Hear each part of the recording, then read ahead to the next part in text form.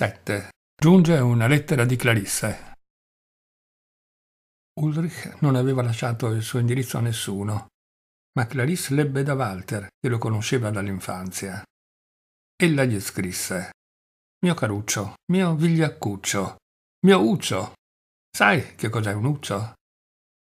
Non saprei spiegartelo. Walter è forse un deboluccio. Il suffisso uccio era sempre sottolineato più volte.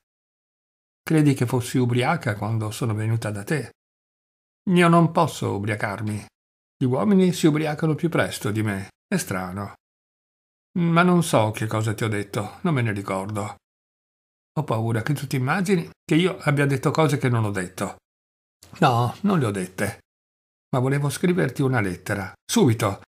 Prima di tutto, tu sai come si aprono i sogni. Qualche volta, quando sogni, ecco che sai. Sei già stato in questo luogo, hai già parlato con questa persona. Oppure è come ritrovare la propria memoria. Al risveglio so di aver vegliato. Ho dei compagni di sonno. Ti ricordi ancora di Mossbrugger? Devo raccontarti una cosa. A un tratto mi è tornato il suo nome, quelle tre sillabe musicali. Ma la musica è inganno, voglio dire quando è sola. La musica da sola è estetismo o qualcosa di simile, debolezza di fronte alla vita. Se però la musica si unisce alla vita, allora i muri tremano e dalla tomba del presente sorge la vita di coloro che verranno. Io non ho soltanto udito le tre sillabe musicali, le ho anche vedute. Sono emerse dalla mia memoria. Una certezza a un tratto. Dove esse sorgano c'è anche qualcos'altro. Una volta scrisse al tuo conte una lettera su Mossbruggen. Come si fa a dimenticare una cosa simile? Adesso vedo. Odo un mondo in cui le cose stanno ferme e la gente si muove. Tu non la conosci da sempre, ma sonante e visibile. Non posso spiegartelo chiaramente, perché finora ne sono venute fuori solo le tre sillabe. Tu mi capisci? Forse è ancora troppo presto per parlartene. Disse a Walter. Voglio conoscere Monsbrugger. Walter chiese: E chi è Monsbrugger? Io risposi: L'amico di Ulrich, l'assassino. Leggevamo il giornale. Era mattina e Walter doveva andare in ufficio. Ricordi quel giorno che leggemmo il giornale tutti e tre insieme? Tu hai poca memoria, non te ne ricorderai. Dunque io avevo spiegato il foglio che Walter mi aveva dato. Un braccio a destra e un braccio a sinistra. Improvvisamente sento un legno duro. Sono inchiodata alla croce. Chiedo a Walter. Il giornale non parlava solo ieri di uno scontro ferroviario presso Budweis. Sì, rispose lui. Perché me lo chiedi? Una cosa da poco, un morto o due. Dopo una pausa io dico, perché anche in America c'è stato uno scontro. Dov'è la Pennsylvania? E lui non lo sa. In America, dice. Io dico, i macchinisti non fanno mai scontrare apposta le loro locomotive. Lui mi guarda. Era evidente che non mi capiva. Certo che no, egli sentenzia. Domando quando viene Sigmund a trovarsi. Walter non lo sa bene.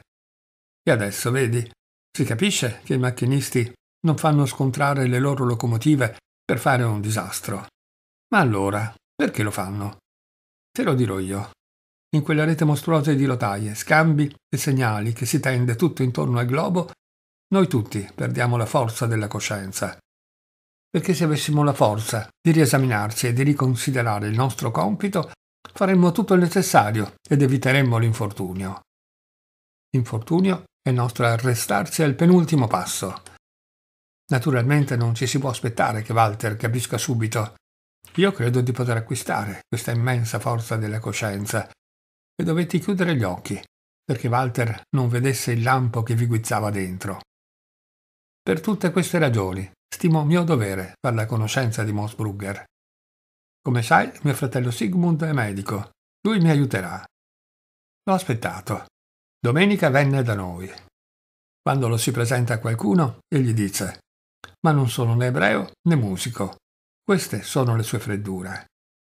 Perché, siccome si chiama Sigmund, non vuole essere preso né per un ebreo né per un musicomane. È stato concepito durante un'ubriacatura wagneriana. Impossibile farmi dare una risposta assennata. Mentre parlavo brontolava a sciocchezze. Tirò un sasso ad un uccello e col bastone frugava nella neve. Voleva anche scavare un sentiero con la vanga. Viene spesso da noi per lavorare. Dice che non gli piace stare a casa con la moglie e i bambini. Strano che lui non l'abbia mai incontrato. Voi avete le fleur du mal e un orto d'erbe mangerezze, dice. Molte volte gli ho tirato gli orecchi e gli ho dato dei pugni nelle costole, ma non è servito a niente. Poi in casa raggiungemmo Walter, che naturalmente sedeva al piano, e Sigmund s'era puntato su le falde della giacca e aveva le mani sporche fino ai polsi. Sigmund, gli dissi davanti a Walter, quando è che capisci un pezzo di musica? Lui schignazza e risponde Mai. Sì, quando lo fai tu stesso dentro di te, dissi io. Come fai a capire una persona? Devi rifarla. Questo è il grande segreto, Ulrich. Devi essere come quell'altro, ma non penetrando tu in lui, sebbene lui in te. Noi lo riscattiamo, lo liberiamo. Questa è la forma attiva. Intervenire nelle azioni umane, ma adempierle e innalzarsi sopra di esse. Scusa se mi dilungo tanto, ma i treni si scontrano perché la coscienza non fa l'ultimo passo. I mondi non emergono se non li attiriamo. Un'altra volta te ne parlerò più diffusamente. L'uomo geniale ha il dovere di dar l'assalto. Ne ha la forza inquietante. Ma Sigmund, quel vigliacco, guardò l'orologio e chiese se si andava a cena, perché lui poi doveva tornare a casa. Sai, Sigmund si tiene sempre a metà strada tra lo scetticismo del medico esperto che non stima granché la possibilità della sua professione, e lo scetticismo dell'uomo moderno, che al di là della tradizione spirituale è già riapprodato all'igiene della semplicità e del giardinaggio. Ma Walter esclamò: Per l'amor di Dio, perché fate simili discorsi? Cosa volete, insomma, da questo Mossbrugger? E questo ha servito, perché allora Sigmund disse: O è un pazzo o un delinquente, questo è vero. Ma se Clarissa si immagina di poterlo redimere, io sono medico e devo permettere anche al capellano di immaginarselo. Riscattare? dice Clarissa. Beh, perché non lo potrebbe almeno vedere? Si spazzolò i calzoni con aria tranquilla e si lavò le mani. A cena poi combinammo tutto. E infatti andammo dal dottor Friedenthal, l'assistente che mio fratello conosce. Sigmund spiattellò subito che si assumeva lui le responsabilità di introdurmi sotto mentite spoglie, dicendo che ero scrittrice e desideravo vedere l'assassino. Ma fu uno sbaglio, perché a una richiesta così precisa l'altro non poteva che rispondere di no. Anche se lei fosse Selma Lagerlöf, sarei felice della sua visita, e naturalmente lo sono ad ogni modo, ma qui si tiene conto soltanto degli interessi scientifici. Era molto carino passare per una scrittrice. Lo fissai negli occhi e gli dissi in questo caso sono più che la Lagerlöf, perché non ho scopi di studio. Egli mi guardò e dichiarò L'unica sarebbe che lei si presentasse al direttore della clinica con una presentazione della sua ambasciata. Ma aveva preso per una scrittrice straniera e non aveva capito che ero la sorella di Sigmund.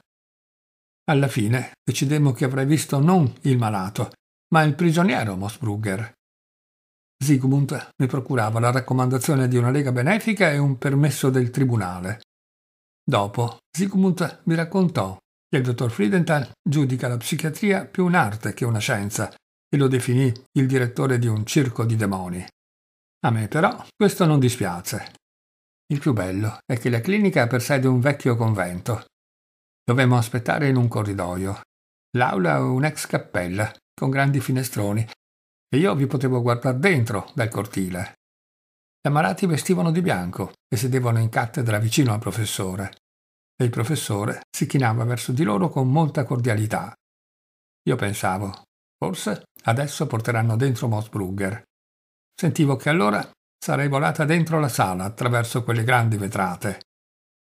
Tu dirai che non so volare. Saltar dentro la finestra allora? No, questo no, perché questo non me lo sentivo.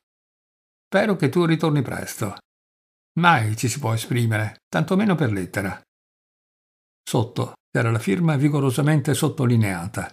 Clarisse.